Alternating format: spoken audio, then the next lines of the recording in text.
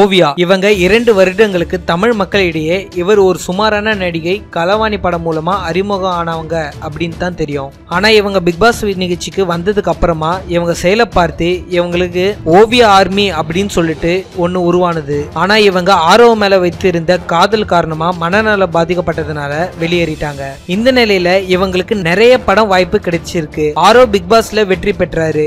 இந்த நிலையில் சமீபத்தில் ஓவியா ஆரோ உடனான நெருக்கமான சில புகைப்படங்கள் வெளியாயிருக்கு. இதனை கண்டு ரசிகர்கள் எல்லாருமே அதிர்ச்சிக்கு உள்ளாயிருக்காங்க.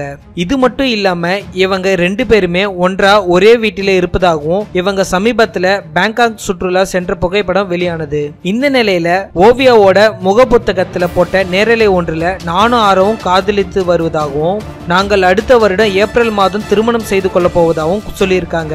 இந்த செய்தி பத்தின உங்களுடைய கருத்துக்களை கீழே இருக்கிற கமெண்ட் பாக்ஸ்ல மறக்காம கமெண்ட் பண்ணுங்க. மேலும் இது போன்ற பல சுவாரஸ்யமான தகவல்களை தெரிந்து கொள்ள எங்களோட சேனலை மறக்காம சப்ஸ்கிரைப் பண்ணுங்க நன்றி.